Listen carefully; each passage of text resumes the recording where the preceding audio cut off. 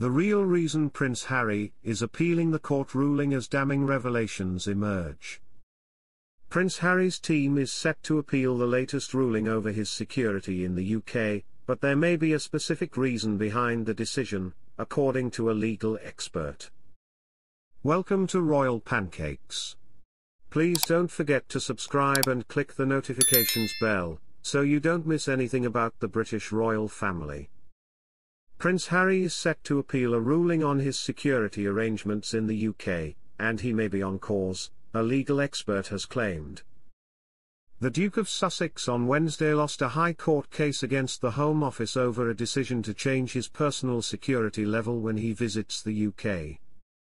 Harry took legal action over a February 2020 decision by the Executive Committee for the Protection of Royalty and Public Figures, after he was told he would no longer receive the same degree of publicly funded protection when in the country.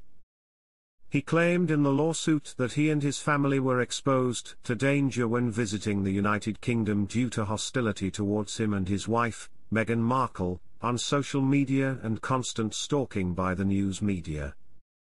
But in a ruling on Wednesday, Retired High Court Judge Sir Peter Lane dismissed the Duke's case and concluded that RAVEC's approach was neither irrational nor procedurally unfair.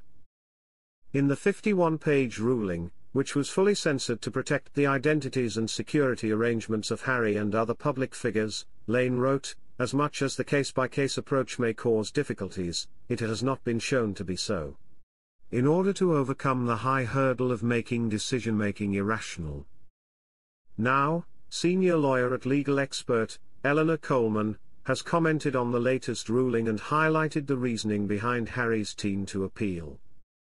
She claimed that the decision essentially limits the government's liability if the Duke is involved in an accident or something similar to his infamous pursuit in New York by paparazzi in 2023 or the incident in 2021 in London when the Prince was chased by paparazzi after he attended an event with seriously ill children at Kew Gardens.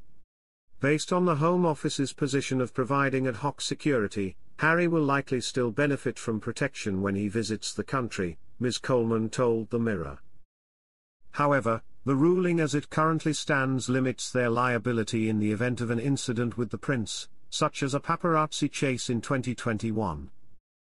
If the incident is repeated and the prince is injured, the Home Office could say it bears no responsibility, which may be why Harry's legal team wants to appeal the ruling.